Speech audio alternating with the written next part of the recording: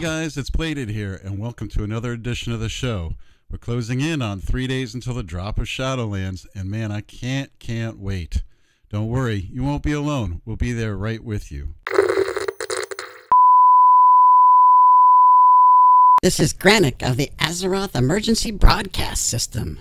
Apologies for leaving in such a rush before, but there were strange winged creatures, and that's saying something in a land just filled with winged creatures, terrorizing citizens all across Azeroth. Well, maybe not this guy.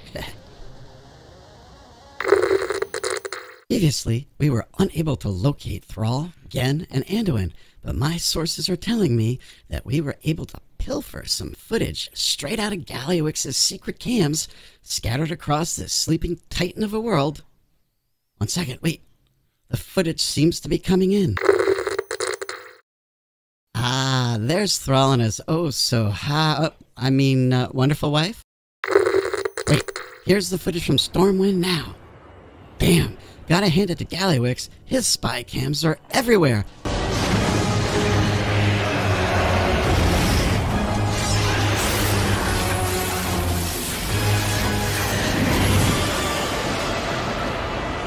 So that's what those things were. That's going to be a big problem.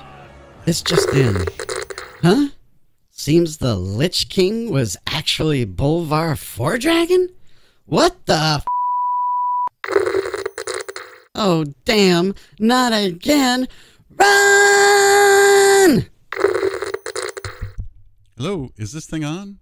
Oh, hey guys, welcome back. Man, I don't know what the heck is going on.